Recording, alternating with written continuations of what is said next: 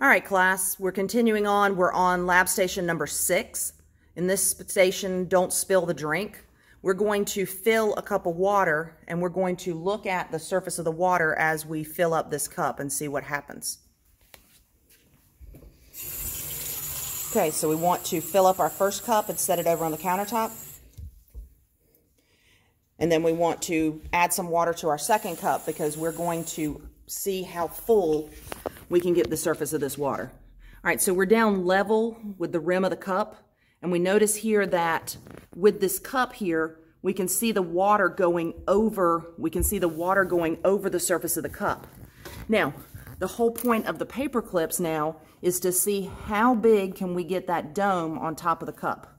So as we add paper clips here, it's displacing water and filling up this cup more and more and more because we're filling up the space with paper clips.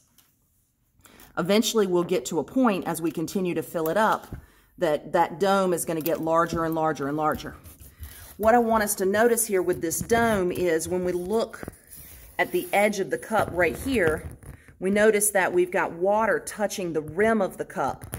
And then we've got water out here in the middle that's not touching the rim of the cup.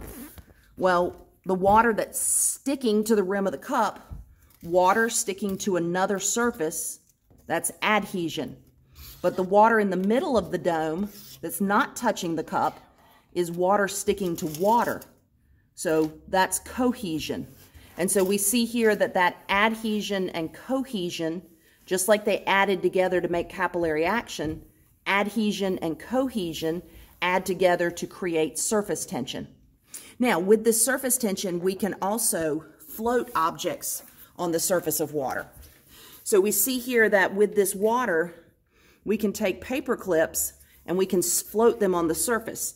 This works with these particular paper clips because you've got surface area here with these plastic paper clips that is greater than that is greater than the weight of these paper clips.